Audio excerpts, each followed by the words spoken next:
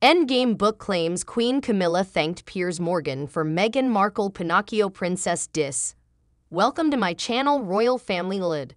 According to Omid Scobie's Endgame, Queen Camilla quietly thanked Piers Morgan for referring to Meghan Markle as a Pinocchio princess. In his most recent royal biography, published on Tuesday, November 28, Scobie, 42, discusses Morgan, 58, criticizing Meghan, 41, over time. Morgan stated on Good Morning Britain that he wouldn't believe Meghan if she read me a weather report after she disclosed that she suffered with suicide thoughts. Please share my video, thank you.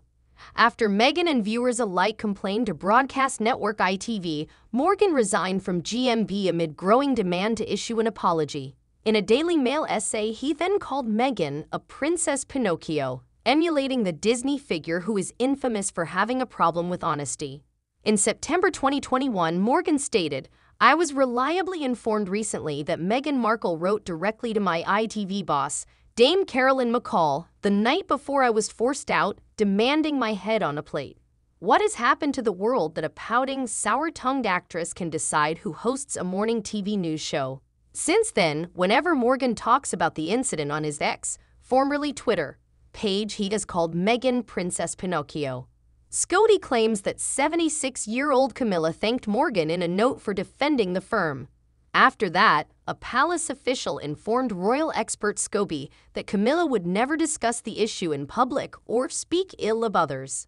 According to reports, the royal insider expressed gratitude to Scobie for someone standing up to Meghan's assertions. Us Weekly has contacted Camilla's representatives in regards to the allegations. Despite not responding to Morgan's comments or her mother in law's purported behavior, Meghan has the backing of her 39 year old husband, Harry. I implore her to stop speaking in such manner. I assured her that we would overcome it and find a solution.